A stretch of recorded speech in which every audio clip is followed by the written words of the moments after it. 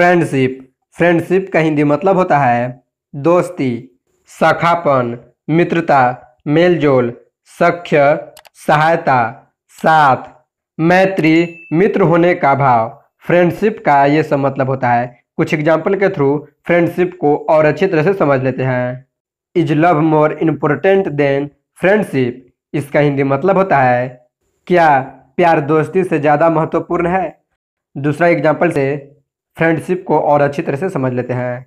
Life is nothing without friendship इसका हिंदी मतलब होता है, मित्रता के बिना जीवन कुछ भी नहीं है।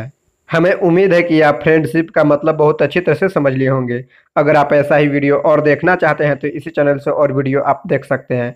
और पर डे नए नए वर्ड मीनिंग सीखने के लिए इस चैनल को सब्सक्राइब करके बेल आइकन को प्रेस कर लें, क्योंकि आप आगे भी नए नए जानकारी ले सकें। तो बस आज की वीडियो में इतना ही। Thanks for watching